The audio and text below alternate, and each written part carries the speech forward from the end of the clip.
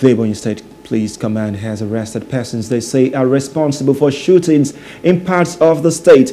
Parading the suspect at the command headquarters in Abakaliki, the state capital, the Commissioner of Police Falaye Olaleye explained that his men apprehended 15 suspects, including a herbalist who prepares charms for the gunmen.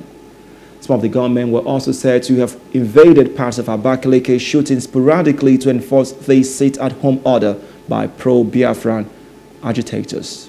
15 of them have been apprehended, even with their herbalist. You can see their the board. You can see the red clothes they were wearing that day. You can see all their paraphernalia. This also includes the women. They were preparing for another attack today when we carry out the strange operation and arrested them.